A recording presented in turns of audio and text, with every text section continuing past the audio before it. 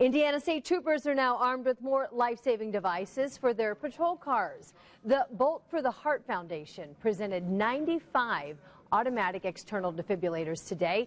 These AEDs can be used to save someone with a cardiac arrest.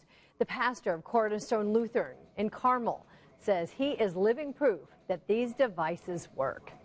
As one who has been blessed as a result of the presence and availability of an AED, I am honored to be associated with Bolt for the Heart and its efforts to make AEDs readily available throughout the state of Indiana. The Bolt Foundation spent the last two years raising money to cover the cost of today's sizable donation. In Indiana,